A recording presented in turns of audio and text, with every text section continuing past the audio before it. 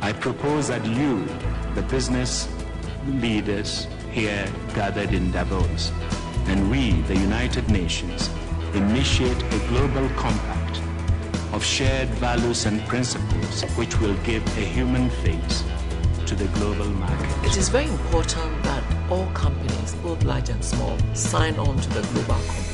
Ghana accepted the need to be part of the global So it is always very important in good corporate governance to make sure that whatever development activity, whether as a nation or as a company particularly, is not done to the total detriment of human beings and their well-being.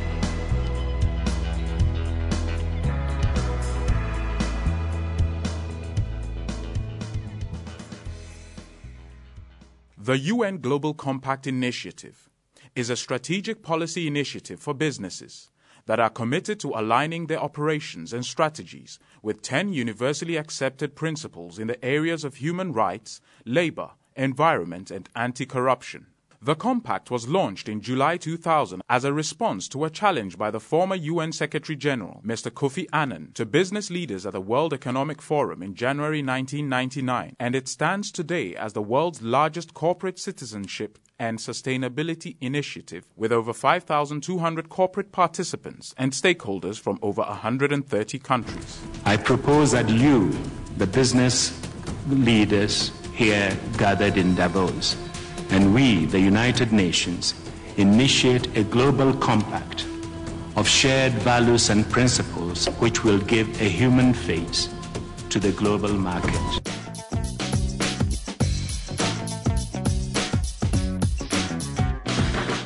The Global Compact is only underscoring the importance of doing business in a very responsible manner, being responsive to human rights, making sure that you do not destroy the environment, making sure that the people you work with are seen as the key elements of any business venture. The Global Compact really ensures that you report on how you're doing in those principles. And therefore, year on by year, you tell your stakeholders, whether they are shareholders, people who buy from you, your workers, how you're living up to those principles. Every customer, every consumer wants to deal with a good business entity, one that is doing business right. So we believe strongly that if a business signs onto the compact and it puts into practice the principles as espoused in the UN Global Compact, it will be doing business right.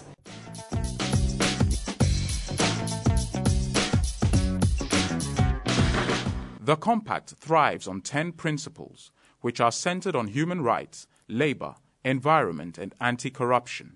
The first theme on human rights has two principles. That's that businesses should support and respect the protection of internationally proclaimed human rights. And the second one is that businesses should make sure that they are not complicit in human rights abuses. Then, when we come to labor, it has four themes. That says that businesses should uphold the freedom of association and the effective recognition of the right to collective bargaining. And then the fourth one, that is the second one, the labor, says the elimination of all forms of forced and compulsory labor. Principle five, which is the effective abolition of child labor. And then principle six is the elimination of discrimination in respect of employment and occupation. Now, under environment, there are two, uh, three principles. That is the principle seven, eight, and nine. And they say that uh, businesses are asked to support a precautionary approach to environmental challenges. And the principle eight says business should undertake initiatives to promote greater environmental responsibility. Whilst the nine talk about that business should encourage the development and diffusion of environmentally friendly technologies. Now, anti-corruption is the last um, theme and has principle 10, just one principle. And that is that businesses should work against corruption in all its forms, including extortion and bribery. It is very important that all companies, both large and small, sign on to the Global Compact. This is because, whether we like it or not, we're living in a global village. And what happens here in Ghana has important dimensions for London, for New York, for Bonn, for Berlin. The reason is that now we we understand that the world's resources are very finite. And so it is very important for us to know how to utilize the resources of this earth so that we can all benefit from it in our own generation and that generations after us will also have the use of the earth and its resources. The next thing is that people are extremely important when you're thinking of development. And this is where the United Nations Conventions on Human Rights are very important. In our bid to develop, we must not trample on the rights of others. And so it is always very important in good corporate governance to make sure that whatever development activity, whether as a nation or as a company particularly, uh, is not done to the total detriment of human beings and their well being. Asking your workers to wear protective clothing, it saves you time on people being sick because they've, they've gotten ill from being exposed or having getting hurt from not wearing the proper clothing, or even people suing you because they got ill. At the end of the day, you might make all the money. But when the name goes around that you're a bad business person, maybe in that part of the world, it's really not caught on. But in, in, in the developed world, people would always run a check and see how socially responsible you are before they do business with us. If you're a corporate organization, you cannot say that you don't want any unionization, you don't want any associations, that you will stand in the way of people coming together to form a union or to form an association to talk about their welfare. You cannot also decide that you will let people work beyond the 40 hour week that has been internationally accepted without paying any further compensation, whether in overtime or in other pegs. You cannot also force people to do work that is detrimental to their health. These are some things that are also addressed. And then we have the issue of child labor. That is also both a human right and against also international labor rules. So that too is something very important. The last principle is on anti corruption. And this is the only convention that is actually legally binding. And in fact, we live in a world which has shown categorically that the greed of a few can actually turn the whole world upside down. We also know in a lot of developing countries that even one cedi that is either misapplied or corruptly used to benefit individuals is a, is a total cost to the development of the nation.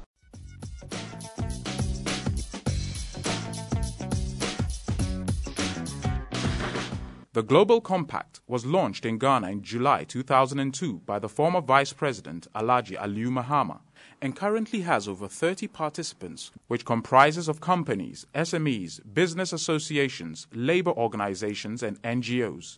It started with a search uh, from UNDP saying who are the core business people in Ghana we could do business with.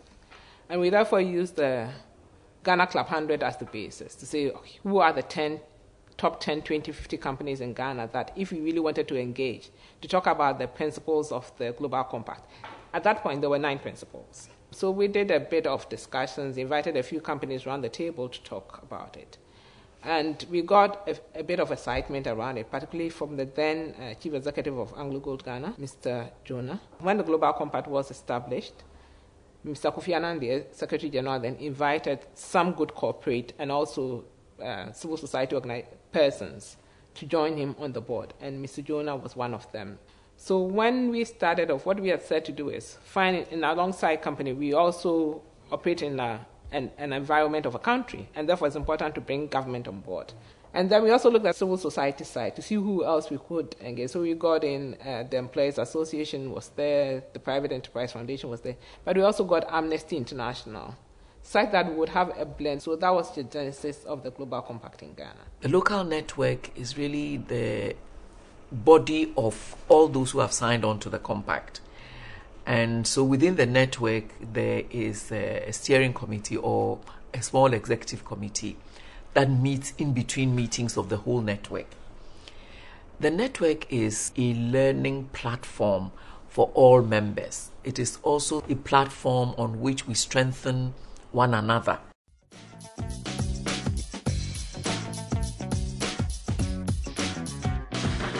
The Ghana Network activities are concentrated in learning, projects, outreach, and networks. That is, assisting companies with the implementation and internalization of the 10 principles by organizing learning events. You need to be a good business person. What we normally say, corporately, be socially responsible.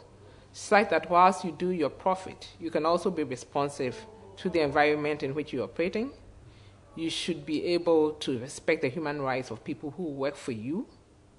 And you should also be able to respect rights of the community in which you operate in.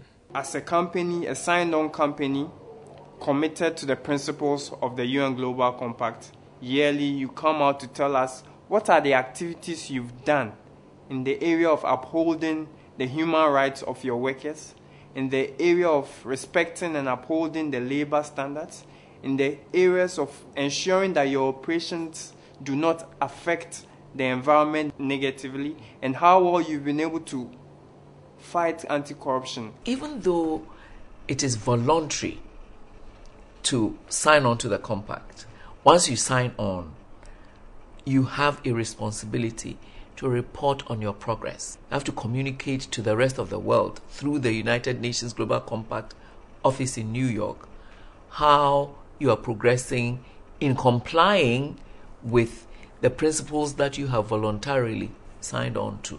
And it comes in, in a tabular form, you go through, you give specific examples of activities that are done in the organization to uphold or in line with those principles mentioned. The Ghana Network also organized the fourth International UN Global Compact Learning Forum in 2006.